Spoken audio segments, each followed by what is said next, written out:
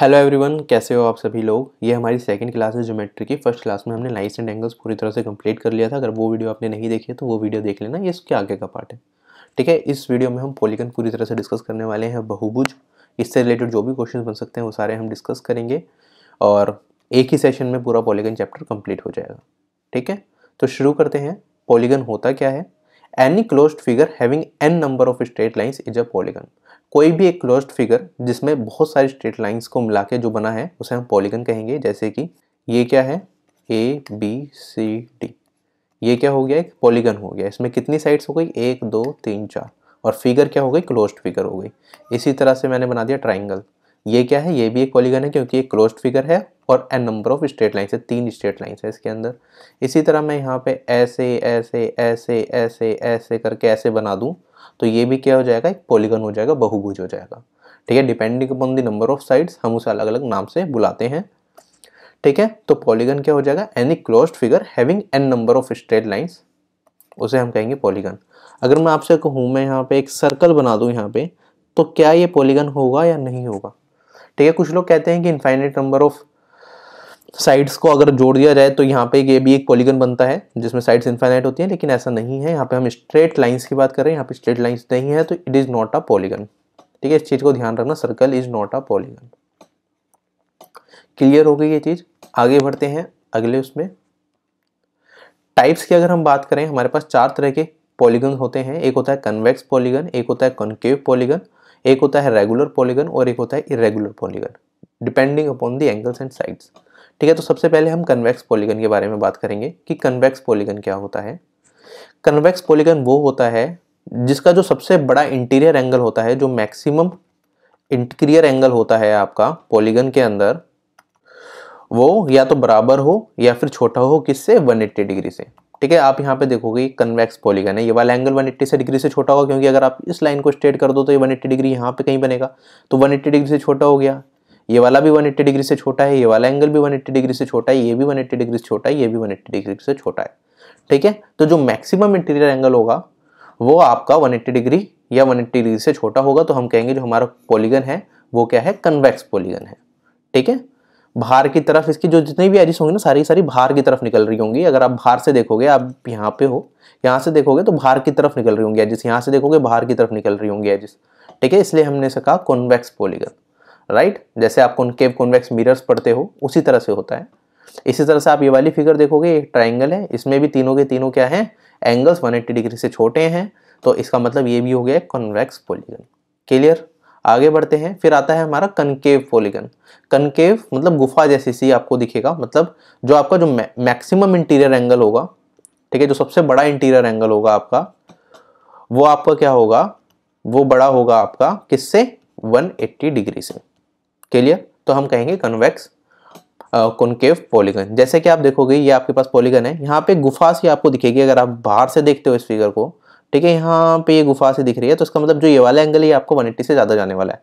तो ये वाला एंगल होगा आपका जो, ये 180 डिग्री से ज़्यादा होगा, इसका मतलब ये क्या हो गया? ये आपका कॉन्केव पॉलीगन हो गया। जैसे कि इसे अगर हम लाइन को आगे बढ़ाएँ तो ये ये ये वाला पोर्शन जो है आपका यही आपका 180 डिग्री बन जाएगा तो ये एक्स्ट्रा है 180 डिग्री से ज़्यादा। अगर एक भी इंटीरियर एंगल आपका 180 डिग्री से ज़्यादा बनता है तो वो आपका कॉन्केव पॉलीगन हो जाता है। जैसे कि आप ये वाली फिगर देखोगे, इसमें ये वाला एंगल हो गया 180 डिग्री से ज़्यादा, ये वाला एंगल भी 180 डिग्री से ज़्यादा हो गया तो ये कॉन्केव पॉलीगन का एग्ज़ाम्पल है। इसी तरह से अगर हम कोई और फिगर ड्रॉ करना चाहें तो कैसे भी हम फिगर बना सकते हैं, ठीक है, ये बना देता हूँ अगर मैं फिगर तो इसमें ये वाला एंगल वन डिग्री से ज़्यादा हो गया तो ये क्या हो जाएगा, आपका कॉन्केव पॉलीगन हो जाएगा। क्लियर हो गई ये चीज़? उसके बाद आते हैं आपके रेगुलर पॉलीगन और इरेगुलर पॉलीगन ठीक है रेगुलर पॉलीगन की बात करें, ठीक है, नियमित त्रिभुज नियमित बहुभुज, इसमें क्या होता है आपके पास? सभी साइड आपकी इक्वल होनी चाहिए और सभी एंगल्स भी आपके इक्वल होने चाहिए, तभी हम कहेंगे एक पॉलीगन रेगुलर पॉलीगन है। जैसे कि हमारे पास यहाँ पे एक ट्राइंगल दे रखा है ए बी एंड सी नाम दे देता हूँ। तो अगर ये एक रेगुलर पॉलीगन है तो इसका मतलब क्या होना चाहिए? A B equals to B C equals to C A होना चाहिए और साथ ही साथ जो ये एंगल है angle A equals to angle B equals to angle C होना चाहिए। ठीक है, अगर ये कंडीशन दोनों कंडीशन सेटिस्फाई करती हैं, तभी हम कहेंगे ये रेगुलर पॉलीगन है या फिर रेगुलर ट्राइंगल है अदरवाइज़ इट इज़ नॉट तो अगर ट्राइंगल की बात करें, इस तरह के ट्राइंगल को हम क्या कहते हैं? इक्विलेटरल ट्राइंगल कहते हैं। Right right? तो कोई भी अगर सभी साइड्स इक्वल हो जाएँ और सभी एंगल्स इक्वल हो जाएँ इंटीरियर एंगल्स तो हम कहेंगे वो एक रेगुलर पॉलीगन है। जैसे कि अगर हम बात करें, ये वाली फिगर है। ये चारों एंगल्स क्या हो जाएँगे? आपके इक्वल हो जाएँगे। और ये वाली चारों साइड भी अगर इक्वल हो जाएँगी तो हम कहेंगे रेगुलर पॉलीगन होगा।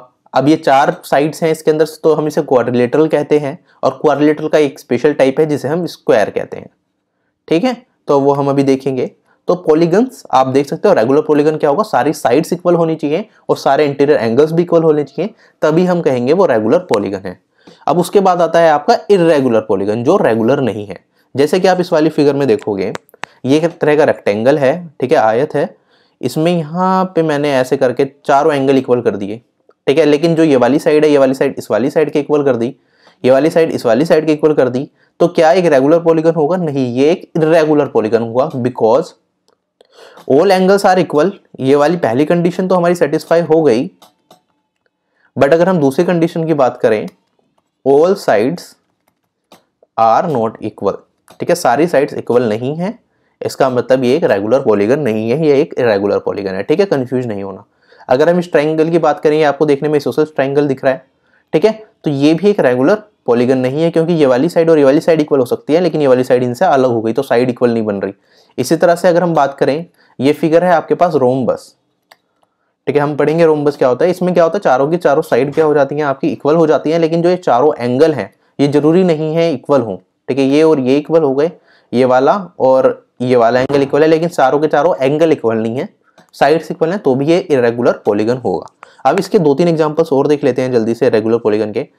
एक होता है आपका स्केलिन ट्राइंगल ठीक है, मैंने ऐसे ही ट्राइंगल ड्रू कर दिया ए बी एंड सी ठीक है, इसका एंगल मान लो, ये हम मान लेते हैं थर्टी डिग्री है, ये हम मान लेते हैं एट्टी डिग्री है तो ये वाला एंगल कितना होगा, ये सेवेंटी डिग्री होगा। ठीक है? अब इसमें तीनों के तीनों एंगल्स भी अलग हो गए, तीनों की तीनों साइड्स भी अलग हो गई तो ये क्या हो जाएगा आपका? इरेगुलर पॉलीगन हो जाएगा, ठीक है? बस हमें रेगुलर पॉलीगन की कंडीशन याद रखनी है all sides must be equal all interior angles must be equal बाकी सारे क्या हो जाएँगे आपके? इरेगुलर पॉलीगन हो जाएँगे। ये चीज़ क्लियर आई? तो चार तरीके हमने पढ़े, ठीक है? Concave convex regular and irregular clear है ये चीज़? अच्छा अगर मैं इस ट्राइंगल की बात करूँ, एक तो ये इरेगुलर पॉलीगन हो गया, ठीक है? अगर आपसे पूछा जाए कनकेव है या कॉन्वेक्स है? अभी हमने थोड़ी देर पहले पढ़ा कि कॉन्केव होगा या कन्वेक्स होगा। तो आप कहोगे ये कन्वेक्स कन्वेक्स पॉलीगन होगा। क्यों कन्वेक्स पॉलीगन होगा? क्योंकि सभी एंगल्स क्या है? 180 डिग्री से कम है। ठीक है? चीज़ें क्लियर हो गई। आगे बढ़े। ठीक है? पॉलीगन को हम किस किस नाम से बुलाते हैं? अगर किसी पॉलीगन में तीन साइड हैं तो उसे हम कहेंगे ट्राइंगल जैसे कि ये। अगर किसी पॉलीगन में चार साइड हैं तो उसे हम कहेंगे क्वाड्रिलेटरल जैसे कि ये हो गया आपका। या फिर हम स्क्वायर बना लें या रेक्टेंगल बना लें, ये सारे के सारे क्या होंगे? क्वाड्रिलेटरल के टाइप्स हो जाएँगे।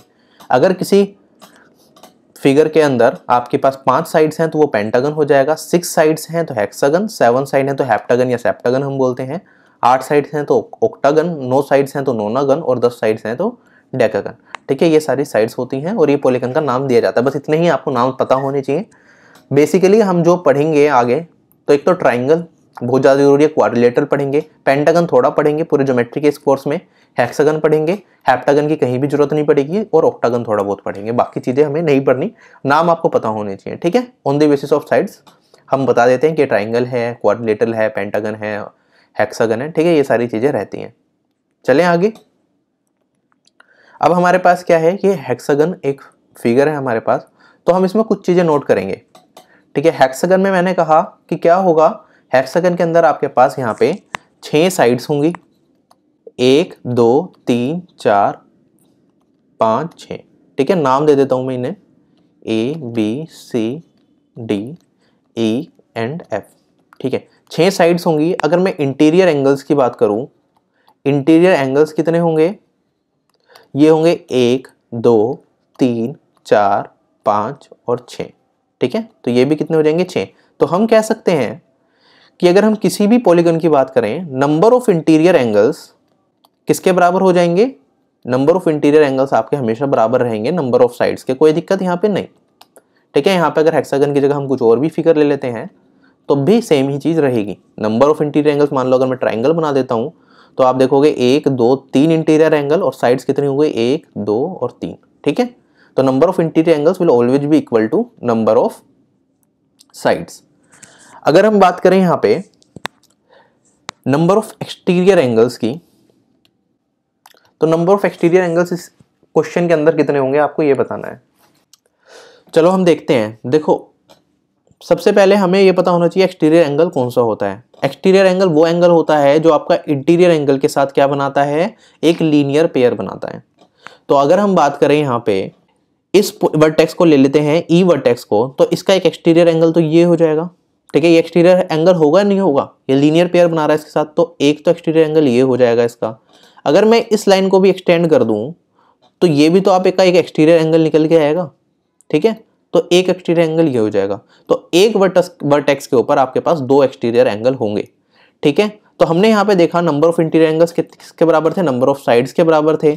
और यहाँ पे एक एंगल है, उसके करस्पॉन्डिंग एक इंटीरियर एंगल के करस्पॉन्डिंग हमें दो एक्सटीरियर एंगल निकल रहे हैं। तो number of interior angles into two अगर हम कर देंगे तो हमारे पास क्या आ जाएगा? नंबर ऑफ़ एक्सटीरियर एंगल्स ठीक है? इस चीज़ का आपको ध्यान रखना जब भी आपसे नंबर ऑफ़ एक्सटीरियर एंगल्स पूछे तो वो इंटीरियर एंगल्स के कितने हो जाएँगे? डबल हो जाएँगे। ठीक है? अगर साइड्स की बात करें तो number of interior angles number of sides के बराबर है तो साइड्स इंटू टू भी हम इसे लिख सकते हैं। Number of sides into two कोई दिक्कत नहीं। ठीक है? उसके बाद अगर हम बात करें यहाँ पे नंबर ऑफ़ वर्टेक्स भी तो नंबर ऑफ़ साइड्स के बराबर हो जाएँगे तो number of vertex into two भी लिख सकते हैं। ठीक है? नंबर ऑफ़ एक्सटीरियर एंगल्स क्या हो जाएँगे? इन सब के डबल हो जाएँगे। ठीक है छोटा सा कॉन्सेप्ट समझ आया? कोई दिक्कत यहाँ पे नहीं। ऐसे ही ट्राइंगल है, जो हमने अभी फिगर देखी थी। ट्राइंगल की बात करें, तीन इंटीरियर एंगल्स हो जाएँगे, तीन वर्टेक्स हो जाएँगी, तीन इंटीरियर एंगल्स तीन वर्टेक्स साइड्स भी कितने? तीन। अगर हम बात करें यहाँ पे इसके एक्सटीरियर एंगल्स की तो एक्सटीरियर एंगल्स कितने हो जाएँगे? थ्री इंटू टू ये हो जाएगा आपके पास सिक्स कैसे? एक तो अगर हम इस वाले एंगल की बात करते हैं, एक तो ये वाला एंगल आपका एक्सटीरियर एंगल होगा वन ये वाला एंगल एक्सटीरियर एंगल होगा टू ठीक है? ये वाली लाइन जब हम देख रहे हैं तो ये बन रहा है, ये वाली लाइन देख रहे हैं तो ये वाला ऊपर। और एक्सटीरियर एंगल के लिए करना क्या होता है? अगर आपको नहीं पता, देखो, कोई भी एंगल है, ठीक है? अगर आपको ये देना है, ये थीटा दे रखा है, इसका एक्सटीरियर एंगल निकालना है तो यहाँ पे दो पॉइंट दो लाइनों से मिलके ये वर्टेक्स बन रही है। इस वाली लाइन को एक्सटेंड कर दोगे तो ये आ गया एक एक्सटीरियर एंगल आपके पास। और अगर जो दूसरी लाइन है, इसे एक्सटेंड कर लोगे तो ये वाला आपके पास आ गया। तो ये दो एक्सटीरियर एंगल होंगे और ये दोनों एक्सटीरियर एंगल क्या होंगे, आपस में इक्वल होंगे। ठीक है, ये चीज़ भी क्लियर हो गई। ठीक है, ये छोटे छोटे से कंसेप्ट है, इनमें कुछ नहीं है समझने वाला। आपके क्लियर हो गए होंगे, फिर अब हम फॉर्मूलाज देखेंगे, फिर क्वेश्चन करेंगे, तब सारी चीज़ें अप्लाई होंगी।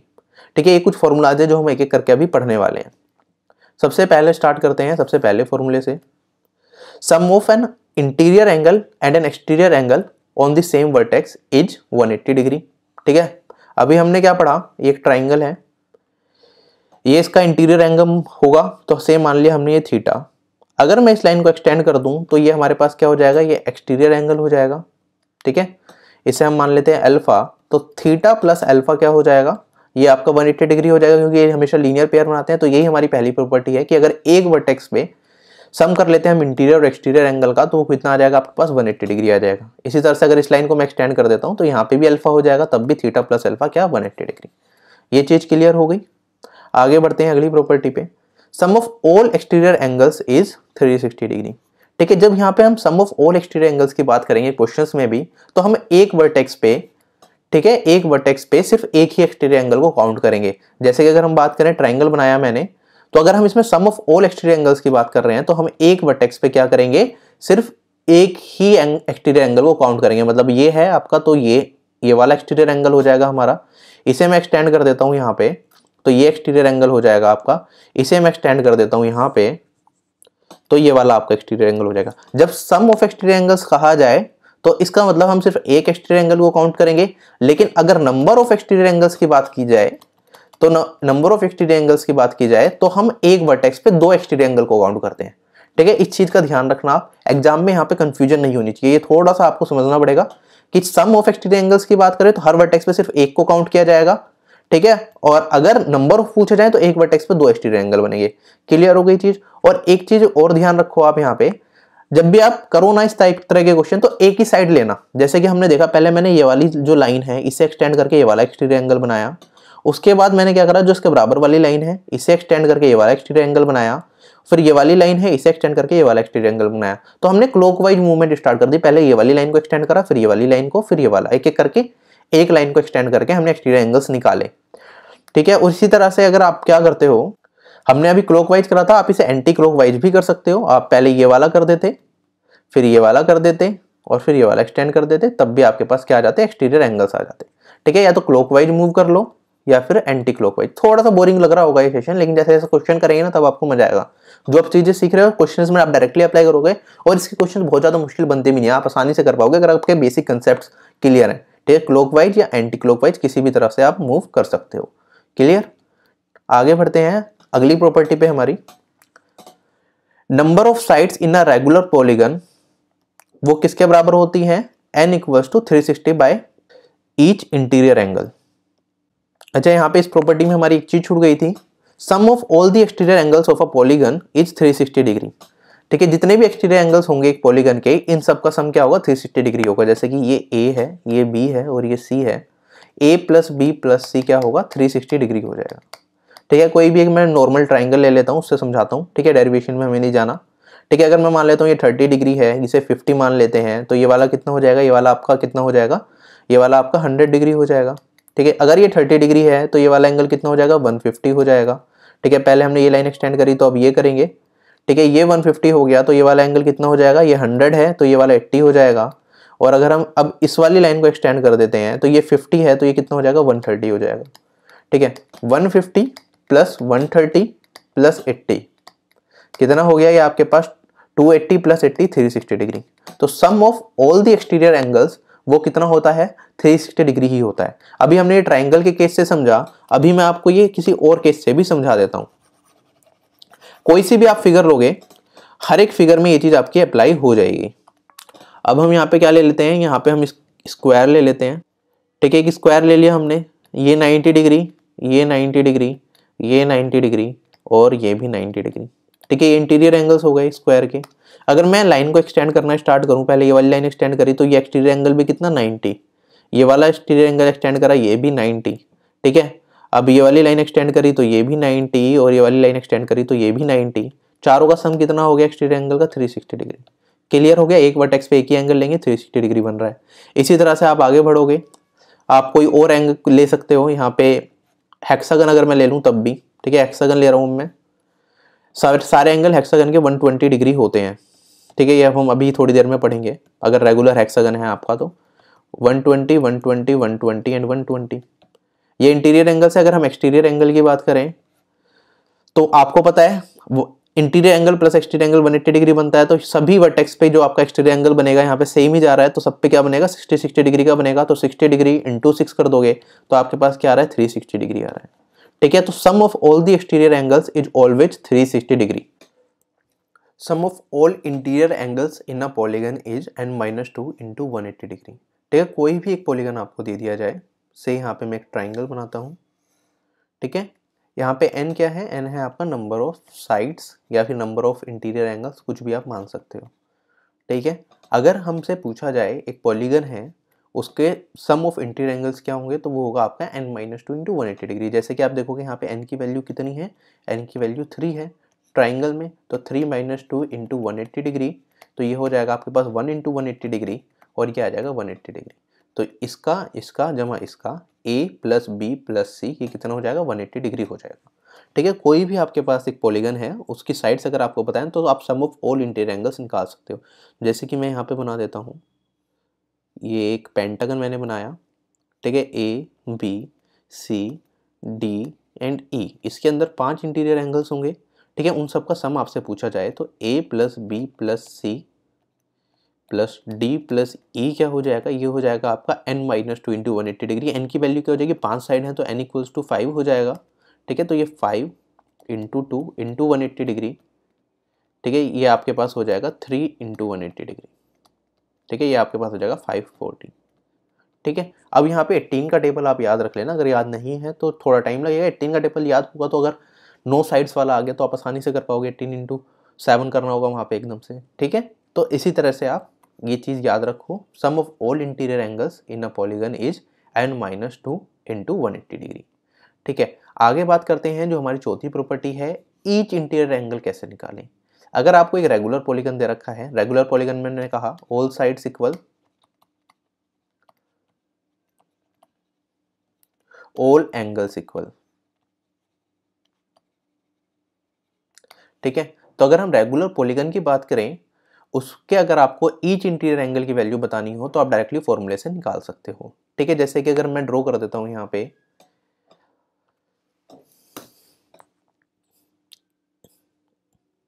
ठीक, एक मैंने यहाँ पे ड्रॉ कर दी फिगर ठीक है? एक स्क्वायर मैंने यहाँ पे ड्रॉ करा आपको बताना है ईच इंटीरियर एंगल कितना होगा। तो सबसे पहले अभी मैंने आपको बताया कि जो sum of all interior angles जो होगा वो आपका क्या होगा? Sum of all interior angles वो हो जाएगा आपका यहाँ पे। N minus two into one eighty degree n की बात करें तो चार साइड से इसके अंदर four minus two into one eighty degree तो ये हो जाएगा two into one eighty degree मतलब थ्री सिक्सटी डिग्री सभी इंटीरियर एंगल्स का सम हमें मिल गया थ्री सिक्सटी डिग्री आप, आपसे पूछा गया ईच इंटीरियर एंगल की वैल्यू क्या होगी? रेगुलर पॉलीगन की अगर हम बात करें, मैंने कहा आपसे कि सभी साइड्स इक्वल होती हैं, सभी एंगल्स इक्वल होते हैं तो ये वाला एंगल ये वाला एंगल ये वाला एंगल और ये वाला angle A B C and D ठीक है? चारों इक्वल हो जाएँगे तो चारों को ए ए ए एंड ए लिख सकते हैं, ठीक है? इन चारों का सम आपको 360 दे रखा है तो फोर ए की वैल्यू कितनी हो जाएगी? 360 डिग्री और ए की वैल्यू कितनी हो जाएगी? आपकी 90 डिग्री ठीक है? तो ईच इंटीरियर एंगल आप इस तरीके से निकाल सकते हो। इसके लिए डायरेक्ट फॉर्मूला है। डायरेक्ट फॉर्मूला क्या हो जाएगा आपका? ये हो जाएगा n minus two into one eighty degree ठीक है? ये आपका हो गया total number of sum of all the interior angles और उसमें आपने n number of interior angles हैं एन से डिवाइड कर दिया। तो ये फॉर्मूला बन गया आपका। ईच इंटीरियर एंगल की वैल्यू यहाँ से आपको निकल जाएगी। ठीक है? इसे याद रखना है आपको। ठीक है, याद नहीं होता तो आपको सम पता चल गया डिवाइडेड बाय एन कर दोगे ईच इंटीरियर एंगल निकल जाएगा। ठीक है, जब हम क्वेश्चंस करेंगे तो इस चीज़ का यूज़ होने वाला है। ठीक है, ये बात रही है आपकी इंटीरियर एंगल की। अगर हम बात करें यहाँ पे, इसे मैं रब कर रहा हूँ इरेगुलर पॉलीगन की।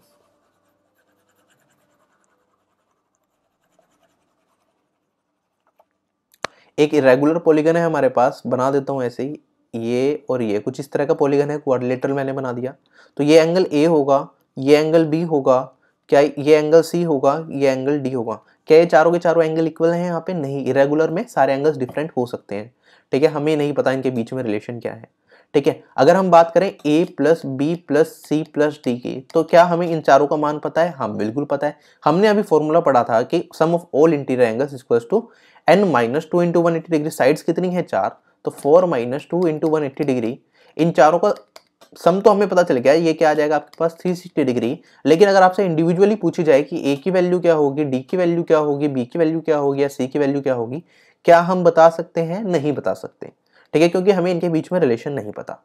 कब हम बता सकते हैं? अगर हमें क्या पता हो, हमें रेशियो पता हो। से अगर मैं आपको यहाँ पे दे दूँ A ratio B ratio C ratio D ये है one ratio, two ratio, three ratio, four.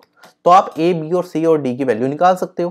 ठीक है, कल हमने लाइन्स एंड एंगल्स में भी ये चीज़ देखी थी सेम टाइप का क्वेश्चन तो अगर टोटल की बात करें, ये टोटल हो गया आपका टेन रेशियो टेन रेशियो की वैल्यू थ्री सिक्सटी डिग्री तो वन रेशियो की वैल्यू थर्टी सिक्स डिग्री उसके बाद हम A B C and D की वैल्यू निकाल सकते हैं। ए की वैल्यू हो जाएगी आपकी थर्टी सिक्स डिग्री बी की वैल्यू हो जाएगी सेवेंटी टू सी की वैल्यू हो जाएगी आपके पास यहाँ पे वन ज़ीरो एट डिग्री और ये फोर की वैल्यू हो जाएगी four into thirty six one forty four degree ठीक है? तो इस तरह से तो हम निकाल सकते हैं, लेकिन हमें रेशियो पता होना चाहिए, या फिर अगर आपको ए बी और सी की वैल्यू पता है, आपसे डी की वैल्यू पूछी गई है तो आप निकाल सकते हो। तो इनके बीच में कुछ ना कुछ रिलेशन होगा, तभी आप इरेगुलर पोलिगन के केस में वैल्यू निकाल पाओगे, ठीक है? अगर हम रेगुलर पोलिगन की बात करें रेगुलर पोलिगन के लिए चारों एंगल्स इक्वल हो जाते हैं तो डायरेक्टली हमारे पास फॉर्मूला है, हम डायरेक्टली फॉर्मूला पुट करेंगे, अपना ईच इंटीरियर एंगल क्या हो जाएगा, वो हो जाएगा आपका n minus two into one eighty degree divided by n ठीक है? तो ये आपको याद रखना है।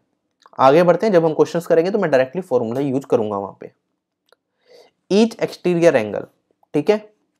एक आपको रेगुलर पॉलीगन दिया जाता है, ठीक है? हेक्सागन बना देता हूँ जिससे कि हम अलग अलग केसेस यूज़ कर लें, ठीक है? हमने यहाँ पे बनाया एक हेक्सागन ठीक है? आपसे पूछ लिया जाए यहाँ पे एक्सटीरियर एंगल सभी एक्सटीरियर एंगल कितने कितने डिग्री के होंगे, ठीक है? तो अगर हम बात करें, यहाँ पे हेक्सागन में साइड्स कितनी होती हैं? छह साइड्स होती हैं। One two three four five and six हमें पता है sum of all the interior sum of all the exterior angles हमेशा कितना होता है? 360 डिग्री होता है, चाहे फिगर कोई सी भी हो पॉलीगन कोई सा भी हो, हमेशा सम ऑफ़ एक्सटीरियर एंगल्स कितना होता है आपका? 360 डिग्री होता है। अगर आपको बताना है ईच एक्सटीरियर एंगल की वैल्यू कितनी होगी? तो रेगुलर पॉलीगन में इंटीरियर एंगल की सभी इंटीरियर एंगल इक्वल होते हैं।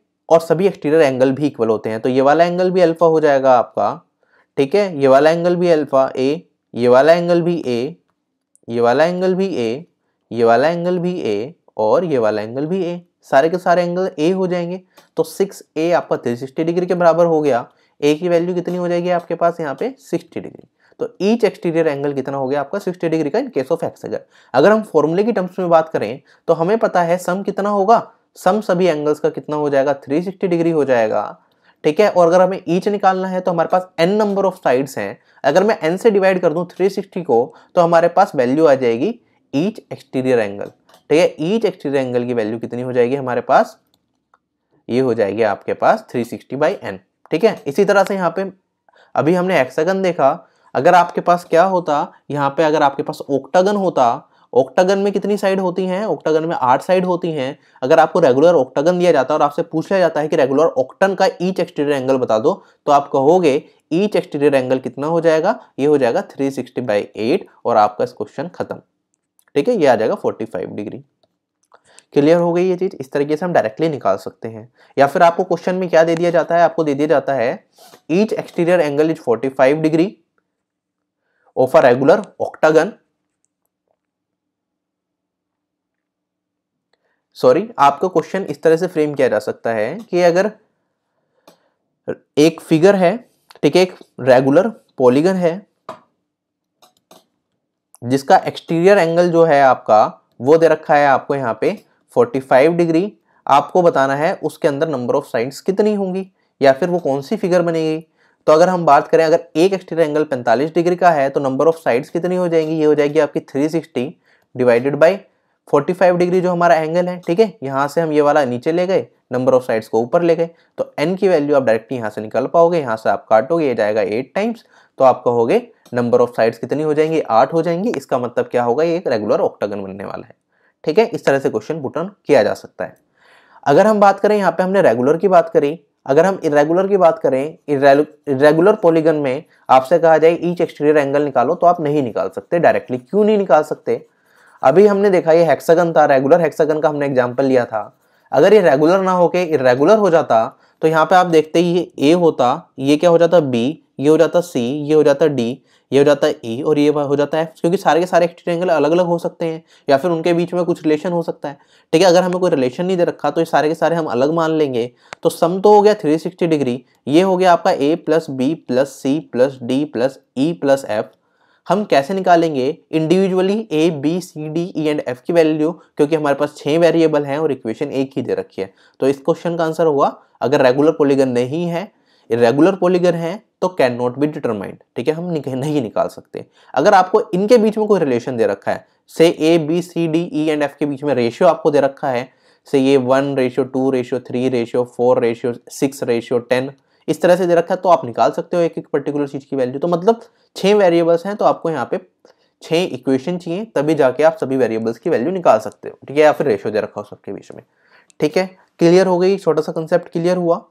आगे बढ़ते हैं। Number of diagonals in a polygon ठीक है? Number of diagonals in a polygon property number six होगी ठीक है? हमें बताना है एक एक पॉलीगन के अंदर डायगनल्स क्या होते हैं, ठीक है? तो मैं सबसे पहले आपको छोटे से एग्जांपल से समझाता हूँ कि डायगनल होता क्या है। एक हमने ली फिगर स्क्वायर। आप सभी लोगों को पता है एक, डायगनल तो इसका ये बनेगा। ठीक है दूसरे पेन से करता हूँ। एक डायगनल तो इसका ये बनेगा और दूसरा डायगनल इसका बनेगा ये। कोई दिक्कत यहाँ तक नहीं। तो नंबर ऑफ़ डायगनल इसके अंदर कितने हो गए? वन और ये हो गया टू ठीक है?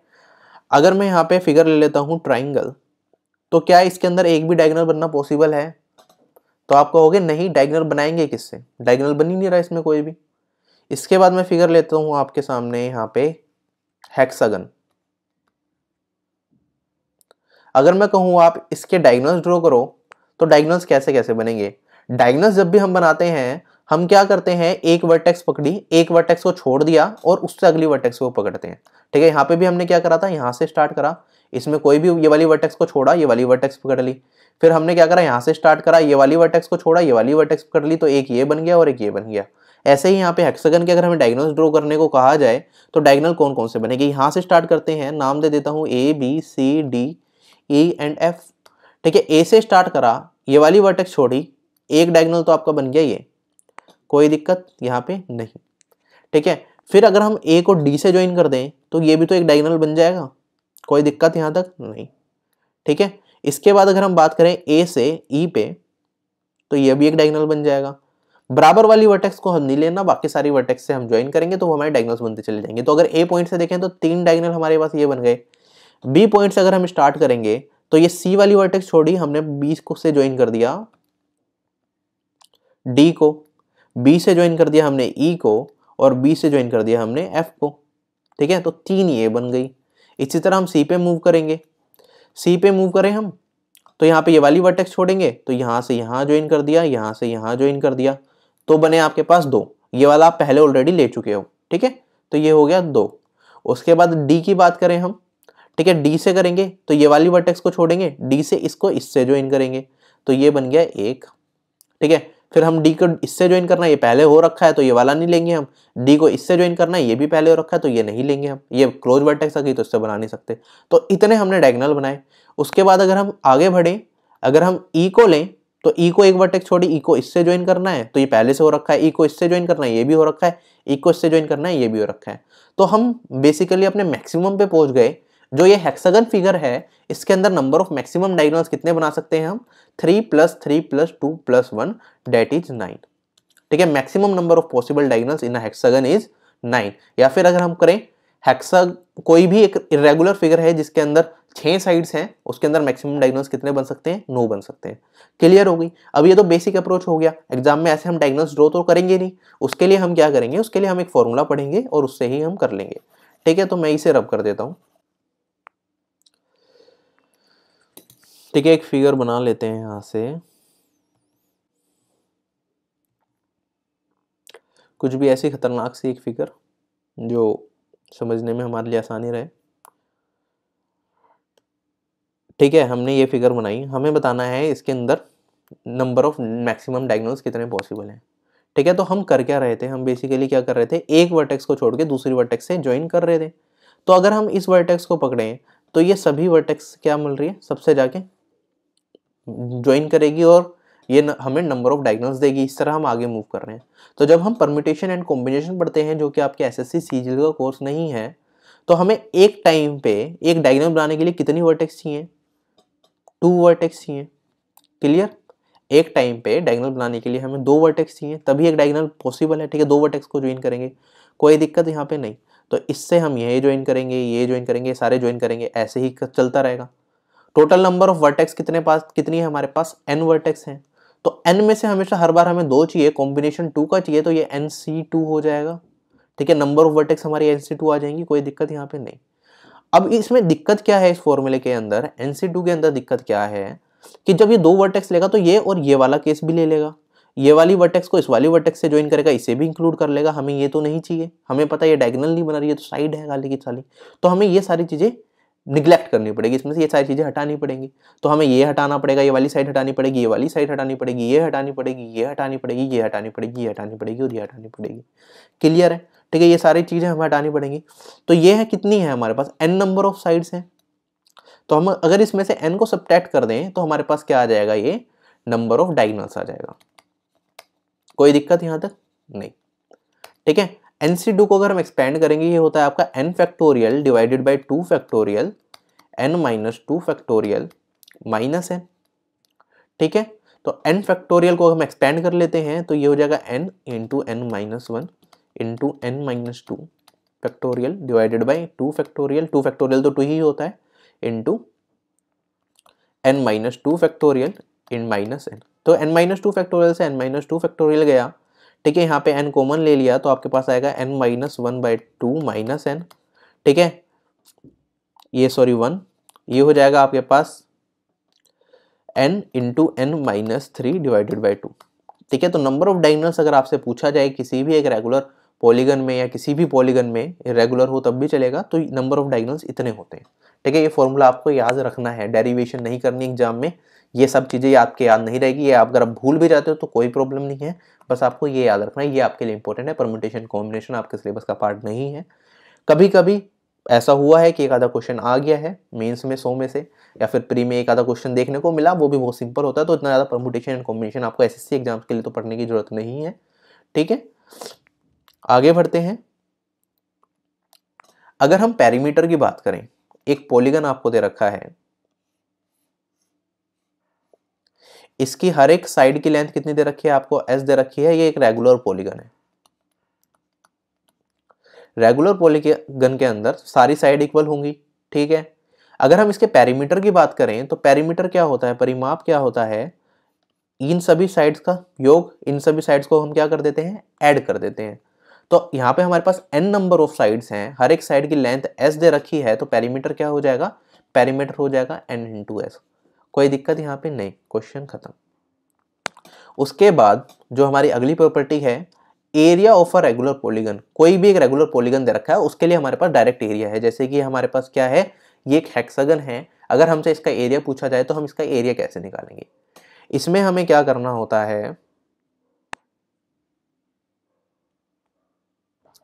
सबसे पहले आप इस फिगर का एक सेंटर होगा, ठीक है? जो भी एक रेगुलर फिगर होगी, उस फिगर का एक सरकम सेंटर होगा।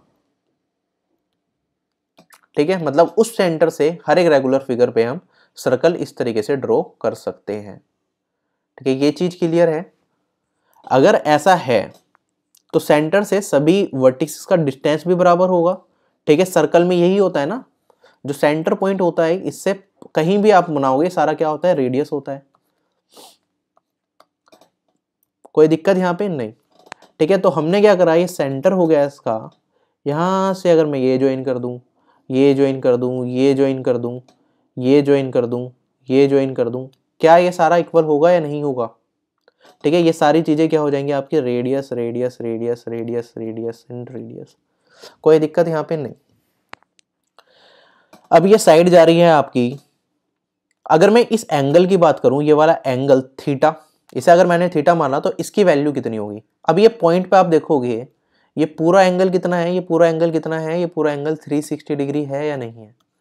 ये पूरा एंगल 360 डिग्री है, ये एंगल कितने बनने वाले हैं? जितनी नंबर ऑफ़ साइड्स होंगी, एक, दो, तीन, चार, पाँच और छः तो छः एंगल बनेंगे यहाँ पे आपके, ठीक है? और सारी साइड इक्वल हैं तो इसके साइड में जो सामने प्रोजेक्टेड एंगल होगा, ये भी क्या होगा? Theta theta theta theta and theta, कोई दिक्कत यहाँ पे नहीं। तो हम कहेंगे यहाँ पे कितनी साइड से हमारे पास सिक्स थीटा, ये किसके बराबर हो जाएगा? थ्री सिक्सटी डिग्री के बराबर हो जाएगा। थीटा की वैल्यू कितनी हो जाएगी? थ्री सिक्सटी बाई सिक्स ये हो जाएगा सिक्सटी डिग्री। कोई दिक्कत यहाँ पे नहीं। अगर ये हम एक्सागन कर रहे हैं तो ये ऐसा हो जाएगा। और हेक्सागन की जगह यहाँ पे कोई और फिगर होती तो n theta equals to three sixty degree होता या नहीं होता? ठीक है? आपके पास एन साइड्स हैं। ठीक है? एन साइड्स हैं आपके पास तो एन एंगल्स बनेंगे बीच में और एन थीटा किसके बराबर हो जाएगा? 360 डिग्री के बराबर हो जाएगा। तो हम थीटा की वैल्यू कितनी कहेंगे? थीटा की वैल्यू कहेंगे हम 360 डिग्री बाई एन कोई दिक्कत यहाँ तक नहीं। ठीक है, आगे बढ़ते हैं।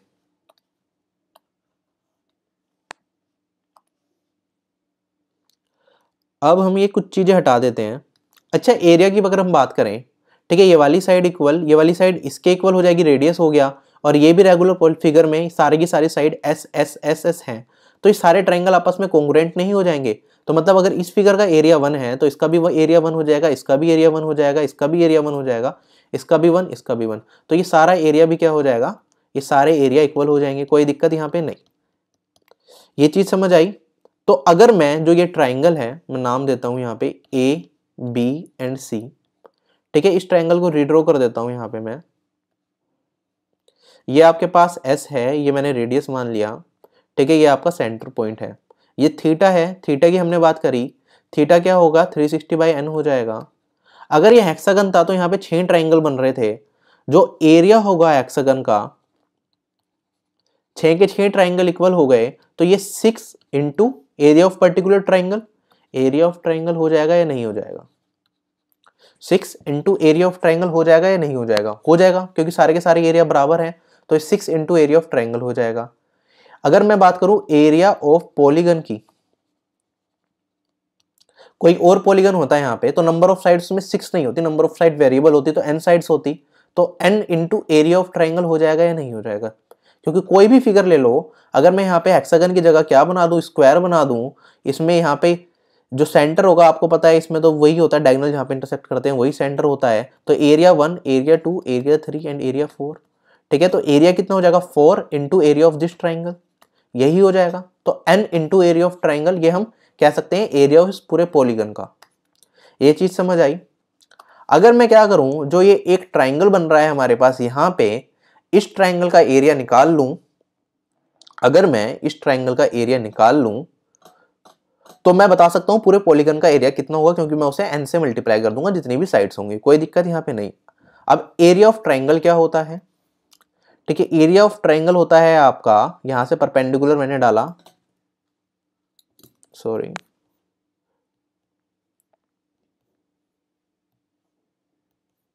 अगर मैं इस पॉइंट से यहाँ पे डाल देता हूँ परपेंडिकुलर ठीक है?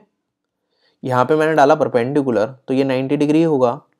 एरिया ऑफ़ ट्राइंगल क्या होता है? एरिया ऑफ़ ट्राइंगल होता है half into base into height बचपन से हमने पढ़ा है। ठीक है, अगर मैं बात करूँ यहाँ पे ये इसोसिस ट्राइंगल बन रहा है तो ये वाली साइड इस वाली साइड के इक्वल होगी या नहीं होगी? ये वाली साइड इस वाली साइड के इक्वल इसोसिस ट्राइंगल में अगर परपेंडिकुलर डालते हो तो ये वाला पोर्शन यहाँ से लेके यहाँ तक ए बी ठीक है डी तो ए डी आपका बराबर होगा बी डी के, ये वाली साइड इसके बराबर है, ये इस तरह से चलता है। ठीक है, अब हमें ये वाली साइड पता है आर ये वाली साइड पता है एस ठीक है, और ये वाला एंगल पता है हमें थ्री सिक्सटी बाई एन तो ये छोटे वाला एंगल जो होगा, ये कितना हो जाएगा? 360 sixty by n by two हो जाएगा, इसका आधा हो जाएगा तो इंटू टू इंटू एन हो जाएगा तो ये हो जाएगा आपके पास 180 डिग्री बाई एन कोई दिक्कत? ये वाला एंगल कितना हो गया आपके पास? ये हो गया आपके पास 180 एट्टी बाई एन ये 180 एट्टी बाई एन हो गया, सामने वाली साइड कितनी है? ये आपके पास एस बाई टू दे रखी है। अगर मैं बात करूँ ओडी की तो ओडी की लेंथ कितनी हो जाएगी? ओडी की लेंथ हो जाएगी आपके पास यहाँ पे s by two into cot और जो ये वाला एंगल है theta that is 180 eighty by n यही हो जाएगा। ठीक है, मैंने ट्रिग्नोमेट्री में आपको पढ़ाया था किस तरह से मैपिंग करते हैं। ठीक है तो ओडी की लेंथ आ गई आपके पास s by two cot one eighty by n अब एरिया ऑफ़ ट्राइंगल की बात करें हम। अब हमारा डेरिवेशन पूरी होने वाली है एरिया ऑफ़ ट्राइंगल ये कितना होता है आपके पास? Half into base into height तो हाफ़ इंटू बेस की बात करें तो ये पूरी साइड है हमारे पास एस और हाइट की बात करें, ये वाली हाइट इसकी वैल्यू कितनी आई है हमारे पास? S by two into cot one eighty by n कोई दिक्कत यहाँ पे नहीं। कोई भी दिक्कत यहाँ पे नहीं है। ठीक है, ये हमारे पास एरिया ऑफ़ ट्रायंगल आ गया। अगर मैं एरिया ऑफ़ ट्रायंगल में क्या मल्टीप्लाई कर दूँ? एन को मल्टीप्लाई कर दूँ नंबर ऑफ़ साइड्स को मल्टीप्लाई कर दूँ, यहाँ पे भी मल्टीप्लाई कर दिया तो ये आपके पास क्या बन गया? ये आपके पास बन गया यहाँ पे एरिया ऑफ़ पॉलीगन तो एरिया ऑफ़ पॉलीगन का फॉर्मूला क्या आ गया हमारे पास? यहाँ पे मल्टीप्लाई कर देते हैं n h square by four cot one eighty by n ठीक है? अगर आपको किसी भी पॉलीगन की रेगुलर पॉलीगन अगर आपको दे रखा है, उसके नंबर ऑफ़ साइड्स और वैल्यू ऑफ़ साइड दे रखी है तो आप उसका एरिया निकाल सकते हो डायरेक्टली इस फॉर्मूले से। ठीक है? ये फॉर्मूले का शायद डेरिवेशन आपको मिले ना मिले कहीं। ये मैंने इसलिए करा दिया जिससे कि आप याद करने में आसानी रहे, ठीक है? डेरिवेशन कराने का मतलब ये है कि आपको ये ना लगे कि ये कहाँ से आ गया, क्योंकि इसमें जो cot one eighty by n वाला फैक्टर ना, ये याद नहीं रहता। और जो हमने यहाँ पे ये बेसिक सीखे हैं, ये बहुत सारा यूज़ होने वाला है ज्योमेट्री में। ऐसा नहीं है कि आपको यहीं पे यूज़ होगा, जब हम ज्योमेट्री के क्वेश्चंस करेंगे, आपको ये चीज़ समझ आ गई तो ये आप आगे भी यूज़ करोगे, ठीक है? इसी तरह से आप देखोगे यहाँ पे एक चीज़ और हम देख लेते हैं, साथ के साथ यहाँ पे कर ही रहे हैं तो। एक फिगर थी एक रेगुलर पॉलीगन जैसे हमने अभी एक्सागन बनाया था तो दोबारा वैसे ही ड्रॉ कर लेता हूँ। इसके अंदर हमने क्या करा था? यहाँ पे इसका सेंटर था। मैंने कहा सेंटर से आप हमेशा एक ऊपर की साइड यहाँ पे एक सर्कल बना सकते हो। ठीक है, ये ऊपर की साइड बना सकते हो, ऐसे ही आप एक सर्कल अंदर की साइड भी बना सकते हो। कोई दिक्कत? यहाँ पे नहीं। आपसे कई बार क्या पूछ लिया जाता है? इसे हम जो अंदर वाली साइड है, इसे हम कहते हैं इन रेडियस और जो ये बड़े वाला जो साइड है, इसे क्या कहते हैं हम? ठीक है रेडियस ऑफ़ सरकम सेंटर ठीक है तो आपसे कई बार आर रेशियो आर भी पूछ लिया जाता है। आर रेशियो आर आपसे कभी कभी पूछ लिया जाता है। तो आपको अगर कोई भी एक रेगुलर फिगर दे रखे हैं, उसमें आर रेशियो आर का डायरेक्टली आप फॉर्मूला बना सकते हो। कैसे? ठीक है, अगर आपको यहाँ पे साइड कितनी दे रखी है? एस दे रखी है। यहाँ पे एंगल दे रखा है आपको, ठीक है? एन नंबर ऑफ़ साइड्स हैं इसके अंदर। तो ये हो जाएगा आपका 180 एट्टी बाई एन ये हमने पढ़ा था, ये ये वाली साइड कितनी आई थी आपकी? ये वाली साइड आई थी आपकी s cot s by two cot one eighty by n. अगर मैं ये वाली साइड की बात करूँ, ये वाली साइड आपकी हो जाएगी इस ट्राइंगल की बात कर मैं ए बी एंड सी ठीक है, यहाँ पे ये one eighty by n angle है, ये हो गया आपका s by two cot one eighty by n, और ये हो जाएगा आपका s by two cosec one eighty by n. अगर आप ध्यान से देखो, जो ये वाली साइड है आपकी, ये तो आपका हो गया क्या स्मॉल आर के बराबर। ठीक है, जो आपका क्या है इन रेडियस है, ये उसके बराबर हो जाएगा और ये आपका हो जाएगा रेडियस ऑफ़ फिगर ठीक है, जो पूरा का पूरा बाहर हमने जो सर्कल बनाया है ये उसका रेडियस के बराबर हो जाएगा। तो ये आपके पास आर की वैल्यू आ गई इतनी और स्मॉल आर की वैल्यू आ गई इतनी, इन दोनों को आपस में डिवाइड कर दोगे आप तो आर बाई आर कितना हो जाएगा? ये हो जाएगा आपके पास cosec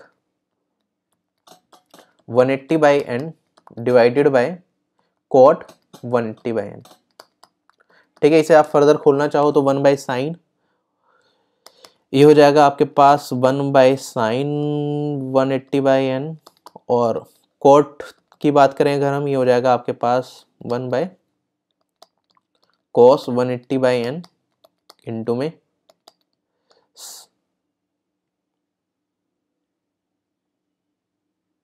Sine one eighty by n ठीक है sine one eighty by n, sine one eighty by n आपका आपस में कट जाएगा। आपके पास बचेगा one by cos one eighty by n, या जिसे हम सकते हैं sec one eighty by n. ठीक है? तो ये रिलेशन आपको याद रखना है। S R by r capital R by r small r क्या होता है? Sec one eighty by n. ठीक है? डायरेक्टली ये रिलेशन अगर आपको पता होगा तो कुछ क्वेश्चन में आप कर पाओगे कम टाइम में। ठीक है? तो ये थोड़ा एडवांस अप्रोच हो गया। इस तरह की क्वेश्चन शायद आपके एग्ज़ाम में देखने को ना भी मिले, लेकिन ये आपको पता होनी चाहिए चीज़ें। आगे बढ़ते हैं। ठीक है तो हमने जितनी भी थी ये प्रॉपर्टी जो सारी की सारी हमने एक एक करके पढ़ ली, जिसकी डेरिवेशन हो सकती थी, वो डेरिवेशन कर ली, जो आपको समझाना था, वो चीज़ें समझा भी दी। आगे बढ़ते हैं अब हम। ठीक है, कुछ चीज़ें आपको याद करने के लिए मैं बोल रहा हूँ, जो आप याद कर लेना। ठीक है रेगुलर पॉलीगन से जब भी क्वेश्चन बनेगा, आपकी जो साइड होंगी, जैसे तीन साइड हुआ तो आपके पास ट्रायंगल होगा इक्विलेटरल ट्रायंगल होगा रेगुलर पॉलीगन के केस में, और उसका ईच इंटीरियर एंगल कितना होता है? सिक्सटी डिग्री का होता है। क्वाड्रिलेटरल की अगर हम बात करें, चार साइड होंगी तो स्क्वायर बनता है, उसका ईच इंटीरियर एंगल कितना होता है? नाइन्टी डिग्री का। पेंटागन की बात करें तो उसमें पाँच साइड होंगी, उसका ईच इंटीरियर एंगल कितना हो जाएगा? वन ज़ीरो एट डिग्री का। छह अगर साइड की बात की जाए तो हेक्सागन होगा, उसका ईच इंटीरियर एंगल कितना हो जाएगा? वन ट्वेंटी डिग्री ठीक है, ये आपको याद करना है। ठीक है, आप कम से कम ये कोशिश करना कि बारह तक आप याद कर लेना। ठीक है हेप्टागन का one twenty eight degree octagon का वन थर्टी फाइव नोनागन का वन फोर्टी डेकागन का वन फोर्टी फोर इलेवन अगर साइड्स हैं तो वन फोर्टी सेवन और ट्वेल्व साइड्स हैं तो वन फिफ्टी। ठीक है, याद कर लोगे तो ज़्यादा रहेगा अच्छा। बाकी इसका तो आपको याद ही ट्राइंगल का भी पता होता है, स्क्वायर का भी पता होता है, पेंटागन का भी, हेक्सागन का भी, ऑक्टागन का भी। ठीक है, इतना हमें वैसे ही याद रहता है क्योंकि इस पर हम क्वेश्चंस भी करते हैं। बाकी ये वाले आप देख लेना, क्योंकि कई बार क्या होता है एग्ज़ाम में क्वेश्चन आते हैं ना, आपको पहले से ही अगर एंगल पता हो, आपको दे रखा है कि सभी, क्या कहते हैं, कोई क्वेश्चन आपके पास आता है कि each interior angle of a regular polygon is 120 degree find the number of sides ठीक है, या फिर पहले पॉलीगन का नाम पता तो आप देखोगे जैसे इंटीरियर एंगल ईच 120 डिग्री हो गया, इसका मतलब वो क्या हो जाएगा? हेक्सागन हो गया। क्वेश्चन में आपको दे सकता है each interior angle is equal to 144 degree ठीक है नंबर ऑफ़ साइड्स बता दो। तो आप कहोगे 144 डिग्री ईच इंटीरियर एंगल है तो डायरेक्टली हमारे पास क्या आ जाएगा? डेकागन टेन साइड्स होंगी। ठीक है, और कई बार रिलेशन भी पूछ लिया जाता है इनके बीच में। ठीक है तो अभी हम क्वेश्चंस करेंगे तो वो सारी चीज़ें क्लियर होंगी, किस तरह से हम इन चीज़ों को यूज़ कर पाएँगे। तो ये आप इतना याद कर लेना। और एक चीज़ और याद करना, अगर कोई पर्टिकुलर फिगर है उसके अंदर क्या है नंबर ऑफ़ साइड्स 360 डिग्री है तो उसका ईच इंटीरियर एंगल कितना हो जाएगा? 179 डिग्री ठीक है? इसके ऊपर क्वेश्चन पूछा जा सकता है। तो ये आप पता होगा तो डायरेक्टली आप आंसर कर पाओगे। थोड़ी बहुत चीज़ें हैं, अगर आप याद रखोगे तो अच्छा रहेगा। नहीं याद रखोगे तो फॉर्मूला सभी चीज़ों के हैं, आप आराम से निकाल सकते हो सोल्व करके। शुरू करते हैं। टोटल नो क्वेश्चन हम करने वाले हैं इसके, और उसमें सारी चीज़ें कवर हो जाएँगी। सबसे पहला क्वेश्चन है A regular polygon has 12 sides and the length of each side is 4 cm. Find its area. एक रेगुलर पॉलीगन है, जिसकी 12 साइड्स हैं। हर एक साइड का लेंथ भी दे रखा है आपको कितना? 4 सेंटीमीटर आपको उसका क्षेत्रफल ज्ञात करना है। एरिया का फॉर्मूला हमने अभी पढ़ा, क्या होता है? ये होता है n s square by four cot theta by n cot 180 by n ठीक है? तो अगर हम बात करें यहाँ पे नंबर ऑफ़ साइड्स कितनी एन की वैल्यू ट्वेल्व दे रखी है तो ये हो जाएगा ट्वेल्व इंटू साइड की बात करें फोर सेंटीमीटर दे रखी है तो four square by four into cot one eighty by n one eighty by n की बात करें एन की वैल्यू कितनी दे रखी है आपको यहाँ पे ट्वेल्व साइड दे रखे हैं तो ट्वेल्व तो ये हो जाएगा आपके पास, यहाँ पे फोर से एक फोर कट जाएगा तो ये हो जाएगा फोर फोर ट्वेल्व फोर जा forty eight into cot one eighty by twelve cot fifteen cot fifteen की वैल्यू मैंने आपको याद करने ही कही थी, जब ट्रिग्नोमेट्री मैंने आपको पढ़ाया था तो ये हो जाएगा forty eight two plus root three ये आपका इस क्वेश्चन का आंसर आ जाएगा, इसका एरिया निकल जाएगा। ठीक है? चीज़ें क्लियर हुई? पहला क्वेश्चन था, आसान था। अब आगे बढ़ने से पहले मैं आपको ये कहूँगा, जो जो चीज़ें हमने पढ़ाई हैं, एक बार उसे रिवाइज कर लो। उसके बाद ही आप क्वेश्चन आसानी से सोल्व कर पाओगे। ठीक है? जो अगर फॉर्मूला जो मैंने बताए हैं, वो सारे याद हैं, जो चीज़ें मैंने समझाई वो अच्छे से समझ आ गई हैं, तभी क्वेश्चन आप आसानी से कर पाओगे, वरना थोड़ा टाइम लगेगा। ठीक है, वो रिवाइज कर लो, फिर आगे क्वेश्चन करना आप। ठीक है, मैं स्टार्ट कर रहा हूँ आगे। क्वेश्चन में क्या है? There are twenty seven diagonals in a regular polygon find the number of exterior angles ठीक है, अगर हम बात करें, यहाँ पे हमें दे रखा है टोटल नंबर ऑफ़ डायगनल्स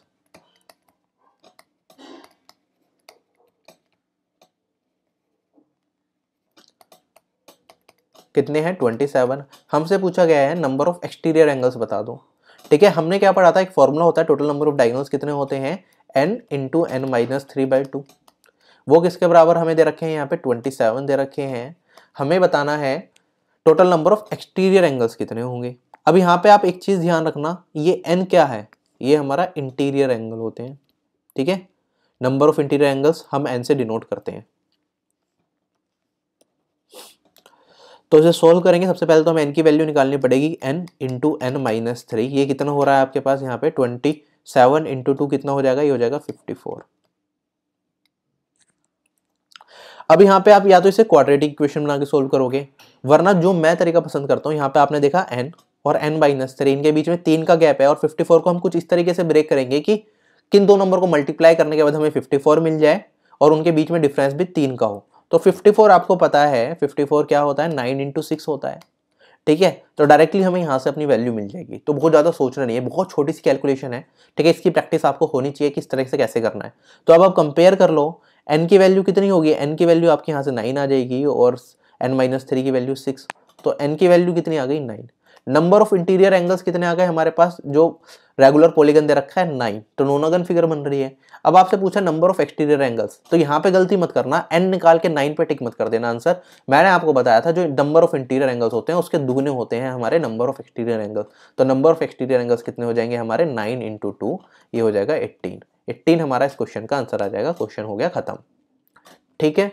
अगला question find the ratio of the measure of an interior angle of a regular octagon to its exterior angle ठीक है, आपसे किसका रेशियो पूछा गया है? रेशियो पूछा गया है interior angle versus exterior angle of a regular octagon ठीक है, अभी मैंने आपको कुछ याद करने को कहा था, मैंने कहा था रेगुलर ऑक्टागन का इंटीरियर एंगल याद कर लेना, कितना होता है? 135 डिग्री होता है। अगर 135 डिग्री का इंटीरियर एंगल है तो एक्सटीरियर एंगल कितना हो जाएगा? इंटीरियर और एक्सटीरियर एंगल दोनों का सम कितना होता है? 180 डिग्री इसका मतलब एक्सटीरियर एंगल कितना हो जाएगा? ये आपका 45 डिग्री हो जाएगा। रेशियो की बात करें तो थ्री रेशियो वन आपका क्वेश्चन का आंसर आ गया क्वेश्चन खत्म. ये हो गया एक तरीका इसे निकालने का, अगर आपको वैल्यू याद है, लेकिन यहाँ पे ऑक्टागन नहीं होता, कोई बड़ी वैल्यू होती, या हमें ये दे दिया जाता कि एक पॉलीगन है, जिसके टोटल नंबर ऑफ़ साइड्स 15 है या 16 है, उसके एक्सटीरियर एंगल और इंटीरियर एंगल के बीच में रेशियो बता दो या इंटीरियर एंगल या एक्सटीरियर एंगल के बीच में रेशियो बता दो तो उस केस में हम क्या करेंगे? ठीक है? तो अब यहाँ पे हमें क्या पता है? ऑक्टागन है ऑक्टागन की ईच साइड कितनी होती है? ऑक्टागन के अंदर आठ साइड्स होती हैं हमारे पास। नंबर ऑफ़ साइड्स की बात करें एट होती हैं। ठीक है? हमें रेशियो बताना है interior angle versus exterior angle तो ईच इंटीरियर एंगल की अगर हम मैं बात करूँ इंटीरियर एंगल कितना होता है? ये होता है n minus two into one eighty degree by n ठीक है? एक पॉलीगन के अंदर का अगर आपको इंटीरियर एंगल बताना हो तो उसका फॉर्मूला ये होता है। एक्सटीरियर एंगल की बात करूँ एक्सटीरियर एंगल का फॉर्मूला क्या होता है? ये होता है three sixty degree by n ठीक है, आपको इन दोनों के बीच का ही रेशियो बताना है। तो ये क्या हो जाएगा आपके पास? आई रेशियो ई ये हो जाएगा आपके पास n minus two into one eighty by n ratio three sixty by n ठीक है एन से एन कट गया। यहाँ से आ जाएगा टू तो ये हो जाएगा आपके पास n minus two ratio two ठीक है? तो ये आपके पास बन गया। ओक्टागन था तो आठ साइड थी तो आठ माइनस दो करोगे तो छः रेशियो दो, ये हो जाएगा तीन रेशियो एक। ठीक है? क्वेश्चन ऐसे निकाला जा सकता है। वरना एक रिलेशन हमारे पास यहाँ पे और निकल के आया है, इसे भी आप याद रख सकते हो।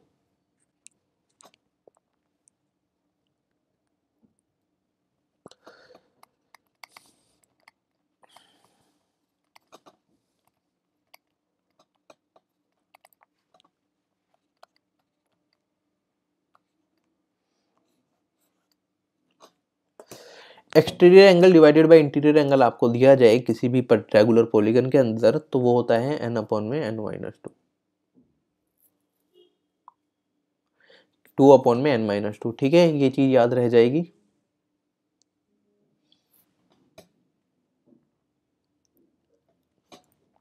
आगे बढ़ते हैं। क्वेश्चन में हमें दे रखा है if one of the interior angles of a regular polygon is nine by eight of each of interior if one of the interior angles of a regular polygon is 9 by 8 of each interior angle of a regular hexagon find the number of diagonals of the polygon यदि नियमित बहुभुज के आंतरिक कोनों में से एक नियमित षटभुज के प्रत्येक आंतरिक कोण का मान 9 बाई एट है बहुभुज के विकर्णों की संख्या ज्ञात करें एक हमारे पास है रेगुलर पॉलीगन और एक हमें दे रखा है रेगुलर हेक्सागन ठीक है इंटीरियर एंगल की अगर हम बात करें उन, उनके इंटीरियर एंगल का रेशियो भी हमें कितना दे रखा है? नाइन रेशियो एट दे रखा है। आपको बताना है find the number of diagonals of the polygon इस वाले जो पॉलीगन है रेगुलर पॉलीगन इसके नंबर ऑफ़ डाइगनल्स हमें ज्ञात करने हैं। ठीक है अगर हम बात करें हेक्सागन की तो हेक्सागन का ईच इंटीरियर एंगल कितना होता है? हेक्सागन का ईच इंटीरियर एंगल होता है आपका 120 डिग्री का। ठीक है और ये नाइन बाई एट रेशियो दे रखा है तो एक रेशियो की वैल्यू की अगर हम बात करें, एक रेशियो की वैल्यू कितनी हो जाएगी? वन ट्वेंटी बाई एट कर देंगे। ये हो जाएगा आपके पास फिफ्टीन डिग्री एक रेशियो की value fifteen degree no ratio की वैल्यू कितनी हो जाएगी? नाइन इंटू फिफ्टीन ये आपको दे देगा वन थर्टी फाइव डिग्री कोई दिक्कत? यहाँ पे नहीं. इंटीरियर एंगल के बीच में आपको रेशियो कितना दे रखा था? नाइन रेशियो एट दे रखा था। तो जो हमारे पास, जो दूसरी फिगर आई है उसका पर्टिकुलर ईच इंटीरियर एंगल कितना हो जाएगा? जो रेगुलर पॉलीगन है रेगुलर पॉलीगन का इंटीरियर एंगल हो गया आपके पास 135 डिग्री ठीक है? इंटीरियर एंगल इतना तो एक्सटीरियर एंगल की बात करूँ तो एक्सटीरियर एंगल कितना हो जाएगा? 180 एट्टी माइनस वन दे देगा आपको 45 डिग्री कोई दिक्कत नहीं। एक्सटीरियर एंगल इतना हो गया। अगर मैं बात करूँ यहाँ पे नंबर ऑफ़ साइड्स की, जो हमारा रेगुलर पॉलीगन है तो वो कितना हो जाएगा? वो 360 सिक्सटी बाई एक्सटर्नल एंगल हो जाएगा हमारा। 360 सिक्सटी बाई ई तो ये हो जाएगा आपके पास 360 बाय 45 डिग्री ये आपको दे देगा यहाँ पे 8 ठीक है तो हमारे पास नंबर ऑफ़ साइड्स आ गई, जो हमारे पास रेगुलर पॉलीगन है, उसकी कितनी? आठ. तो ये क्या हो गया? आपके पास ऑक्टागन हो गया. लेकिन आपसे ये तो पूछा गया नहीं है कि ऑक्टागन है क्या है. आपसे पूछा गया number of diagonals of the regular polygon तो नंबर ऑफ़ डायगनल्स की बात करें नंबर ऑफ़ डायगनल्स कितने हो जाएँगे? नंबर ऑफ़ डायगनल्स हो जाएँगे आपके n into n minus three by two तो ये हो जाएगा eight into eight minus three by two ये हो जाएगा eight into five by two ये आपको दे देगा यहाँ पे फोर्टी बाई टू और आपका आंसर आ जाएगा ट्वेंटी ट्वेंटी आपका इस क्वेश्चन का आंसर हो जाएगा क्वेश्चन खत्म.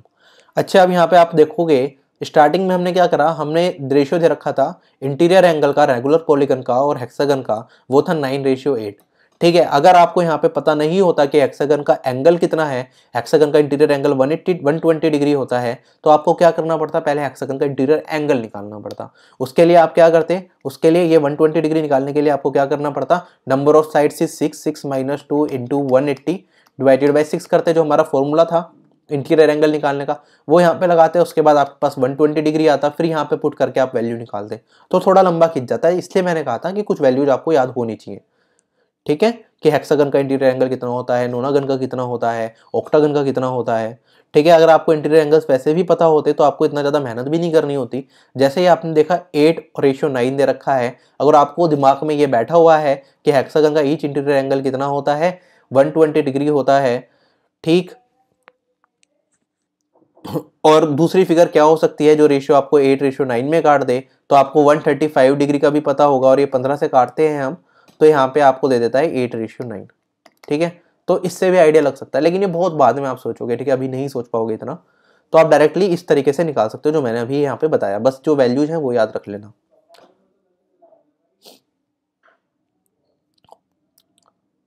Sum of all interior angles of a regular polygon is 1080 degree find the number of diagonals ठीक है? ऑल इंटीरियर एंगल्स का सम कितना दे रखा है? आपको 1080 डिग्री दे रखा है। आपको नंबर ऑफ़ डायगोनल्स ज्ञात करने हैं। ठीक है? अगेन सिंपल क्वेश्चन है ये तो सीधा।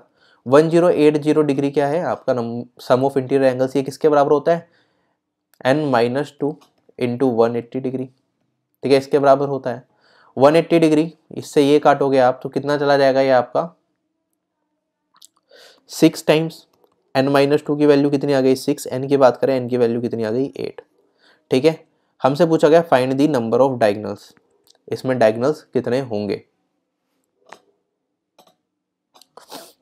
नंबर ऑफ़ डायगनल्स का फॉर्मूला क्या होता है? N n minus three by two तो पुट कर देते हैं यहाँ पे eight eight minus three five by two ये आ गया आपके पास ट्वेंटी क्वेश्चन का आंसर आ गया ट्वेंटी क्वेश्चन में हमें क्या दे रखा है? Ratio of n interior angles to n exterior angles of a regular polygon is seven ratio to find the number of interior angles ठीक है, एक हमारे पास एक रेगुलर पोलीगन है, जिसमें एन इंटीरियर एंगल है तो एक्सटीरियर एंगल एन है।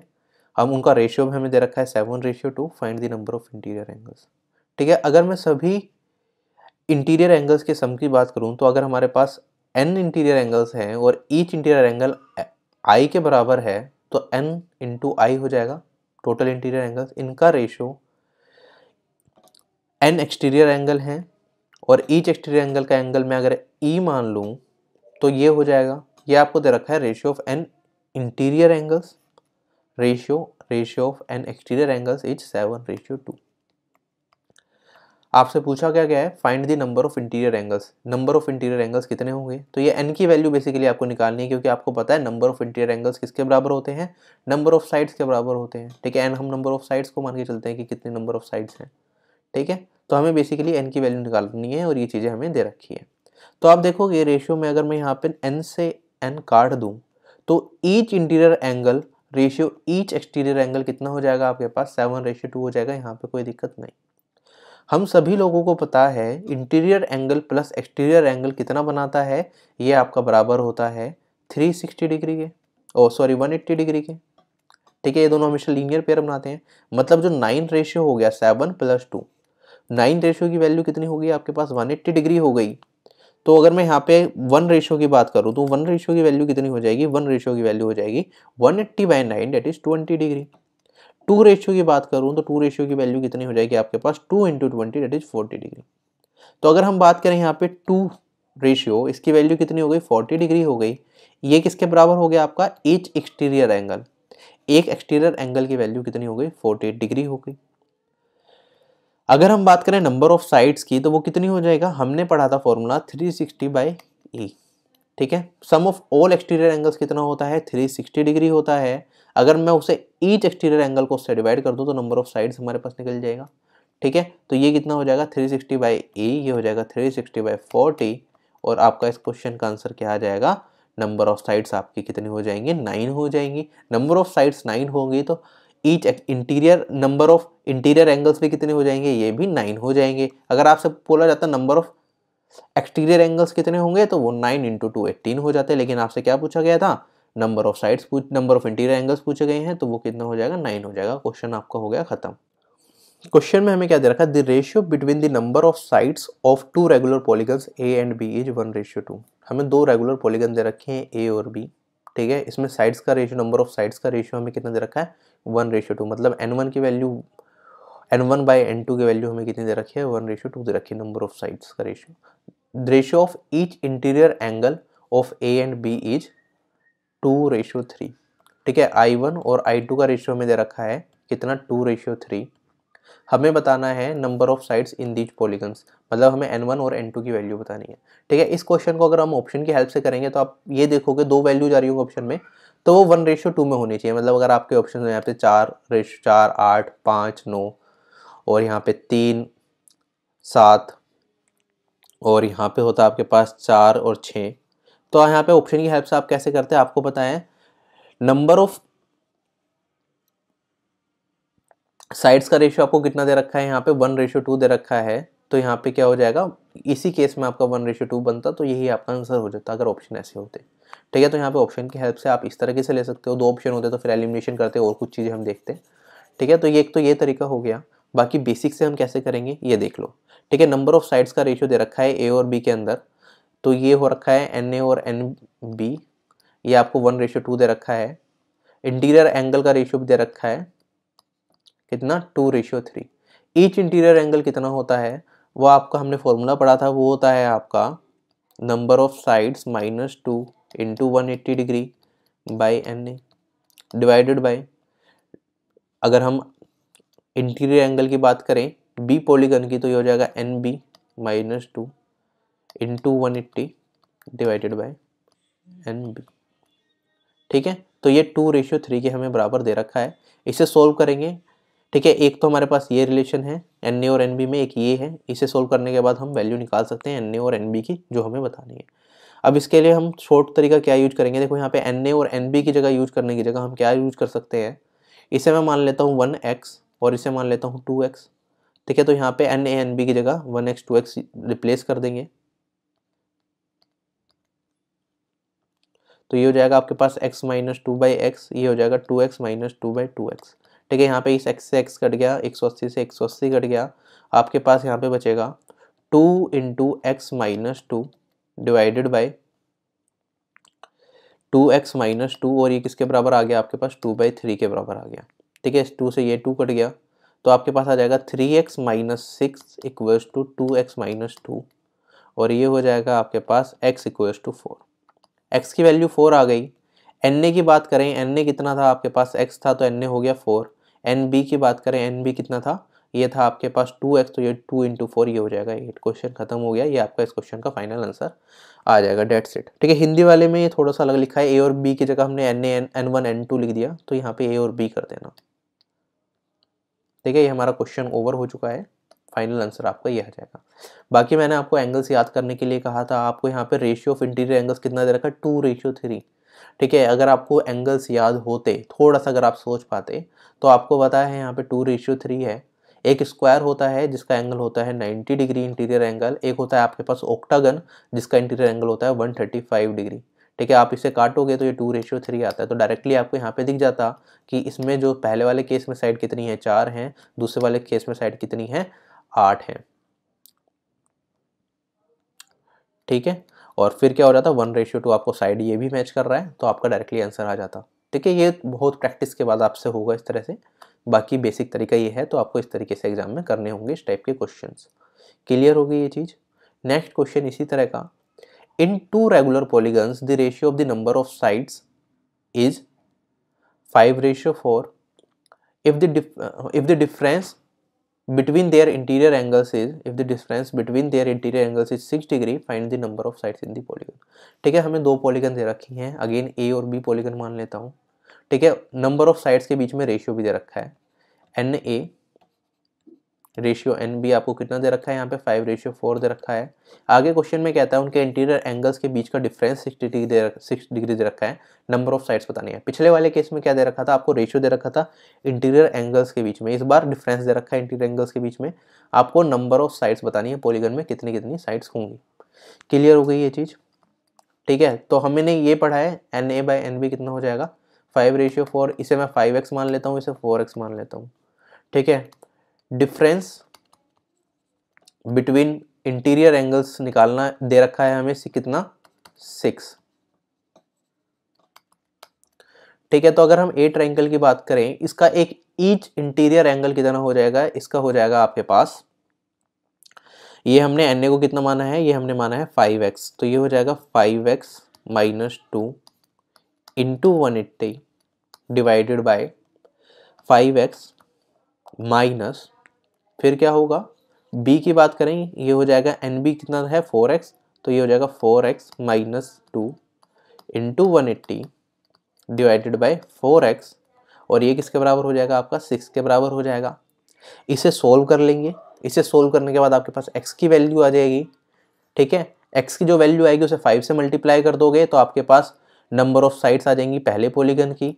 और अगर हम इसे फोर से मल्टीप्लाई कर देंगे तो नंबर ऑफ़ साइड्स आ जाएँगी सेकंड पोलीगन की। ये आपको खुद सॉल्व करके कमेंट बॉक्स में आंसर बताना है। हम भी देखेंगे कितने लोग पूरी वीडियो देखते हैं। Next question number of sides in a regular polygon is 360 degree find the measure of each interior angle ठीक है एक पॉलीगन है रेगुलर जिसकी नंबर ऑफ़ साइड्स 360 हैं। फाइंड दी मेजर ऑफ़ हमें एक पर, सभी इंटीरियर एंगल्स का मेजर बताना है कि कितने कितने डिग्री का एक इंटीरियर एंगल होगा। तो मैंने स्टार्टिंग में ही बताया था, अगर आपके नंबर ऑफ़ साइड 360 डिग्री दे रख 360 दे रखी है रेगुलर पॉलीगन में तो ईच इंटीरियर एंगल कितना हो जाता है? 179 डिग्री का। ठीक है? तो अब कैसे करना है? एक बार समझ लो। ठीक है? Measure of each interior angle वो क्या होता है? फॉर्मूला बहुत बहुत बार यूज़ कर चुके हैं। ये होता है आपके पास n minus two into one eighty by n ठीक है, यहाँ पे थ्री सिक्सटी साइड्स हैं तो three sixty minus two into one eighty by three sixty तो ये कट जाएगा आपके पास टू ऊपर बचेगा आपके पास three fifty eight by two और ये आ जाएगा आपके पास वन सेवेंटी नाइन ठीक है क्वेश्चन ख़त्म हो गया। आपका क्वेश्चन का आंसर जाएगा 179 डिग्री ये मैंने आपको याद करने के लिए था कई बार ऐसा स्टेटमेंट बेस्ट आ जाता है, वरना बेसिक से तो आप ऐसे निकाल ही सकते हो, इसमें तो कोई दिक्कत है ही नहीं। क्लियर हो गई ये चीज़? ठीक है? तो यहाँ पे मोस्टली हमारा पॉलीगन कंप्लीट हो गया। एक छोटा सा केस और है, वो भी आप समझ लो। ठीक है? स्टार फिगर्स जो होती हैं, इसका एक छोटा सा रिलेशन होता है, एक क्वेश्चन आपसे बनता है। वो क्वेश्चन क्या होता है? आपसे पूछा जाएगा यहाँ पे ए बी सी डी ई आपसे वैल्यू पूछी जाएगी A plus B plus C plus D plus E की। ठीक है? और ऐसे ही यहाँ पे अगर इस फिगर की बात करें A B C D E and F ठीक है, इन्हें हम स्टार फिगर्स कहते हैं। आपसे इनमें जो ये भारी एंगल्स होते हैं ना, इनका सम पूछा जाता है, इनका सम कितना होगा। तो इसके लिए मैं डायरेक्ट फॉर्मूला बता देता हूँ, यहाँ पे कितनी वर्टिसेस बन रही हैं बाहर? एक, दो, तीन, चार, पाँच। ठीक है डायरेक्ट फॉर्मूला होता है इसका n minus four into one eighty degree ठीक है तो यहाँ पे वर्टिसेस कितनी है? पाँच हैं तो ये हो जाएगा five minus four into one eighty और ये हो जाएगा वन एट्टी डिग्री ठीक है, इस क्वेश्चन का answer A plus B plus C plus D plus E कितना हो जाएगा? 180 डिग्री अब यहाँ पे आप इस फिगर में देखोगे, यहाँ पे छः वर्टिसेस बन रही हैं तो ये हो जाएगा n minus four into one eighty तो यहाँ पे छः वर्टिसेस हैं A B C D E and F तो ये हो जाएगा six minus four into one eighty degree तो इस क्वेश्चन का आंसर आ जाएगा आपके पास two into one eighty degree ये हो जाएगा थ्री सिक्सटी डिग्री ठीक है डायरेक्टली आपको ये बस फॉर्मूला याद रखना है, बाकी कुछ नहीं करना एग्ज़ाम में क्वेश्चन आएगा डायरेक्ट आएगा पुट करके अपना आंसर निकाल लोगे, इसके डेरिवेशन पर कहीं भी आपको ज़्यादा जाने की ज़रूरत नहीं है। ठीक है, इस तरह से फिगर्स ये सारी बन सकती हैं, इनमें कुछ भी पूछा जा सकता है, ये सारी स्टार फिगर्स होती हैं हमारी। अब जैसे ये वाला है, इसमें अगर आपसे पूछ लिया जाए एक्सटीरियर एंगल का सम क्या होगा ईच एक्सटीरियर एंगल का? तो ये सम हो जाएगा आपके पास A B C D E F and G तो टोटल सात हो गई तो ये हो जाएगा seven minus two in seven minus four into one eighty degree तो ये three into one eighty degree ये हो जाएगा फाइव फोर्टी डिग्री ठीक है? इन सभी का sum A B C D E F G का मिला के फाइव फोर्टी डिग्री आपके पास बन जाएगा. तो डेट सीट गाइज़ हमारा आज का सेक्शन यही ख़त्म होता है और सारी चीज़ें हमने यहाँ पे डिस्कस कर ही ली हैं. अगर आपको किसी भी क्वेश्चन में कोई भी डाउट है तो कमेंट बॉक्स में आप कमेंट करके पूछ सकते हो. अगर मैंने पढ़ लिया तो मैं उसका रिप्लाई ज़रूर करूँगा. जल्दी मिलेंगे नेक्स्ट सेशन में, जिसमें हम और चीज़ें डिस्कस करेंगे। तब तक के लिए बाय बाय टेक केयर आपका दिन शुभ हो, जय हिंद।